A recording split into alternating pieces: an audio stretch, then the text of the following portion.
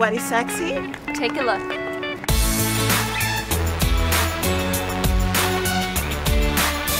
Me, Lily, and Behati, we're here in Los Angeles at Shutters Hotel, and it's very exciting because we're launching the What is Sexy list.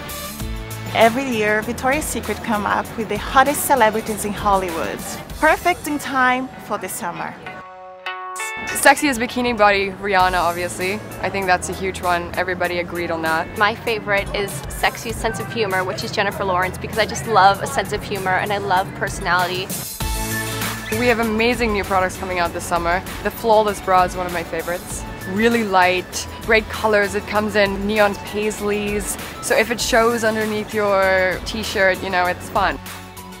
My favorite new piece of lingerie for the summer is the multi-way bra. I think it is such a great bra to have because you can wear it strapless or you can make it a halter or if there's one shoulder and you can just have it one bra for the whole summer for your entire wardrobe.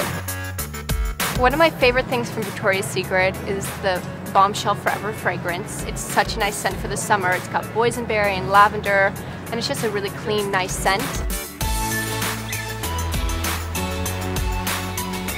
Hi, what is sexy for you? Um, to me, sexy is being able to own what you got and show it off.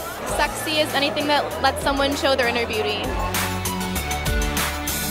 What is sexy is being confident, is embracing yourself, is feeling comfortable, is being a mom, is being in Los Angeles.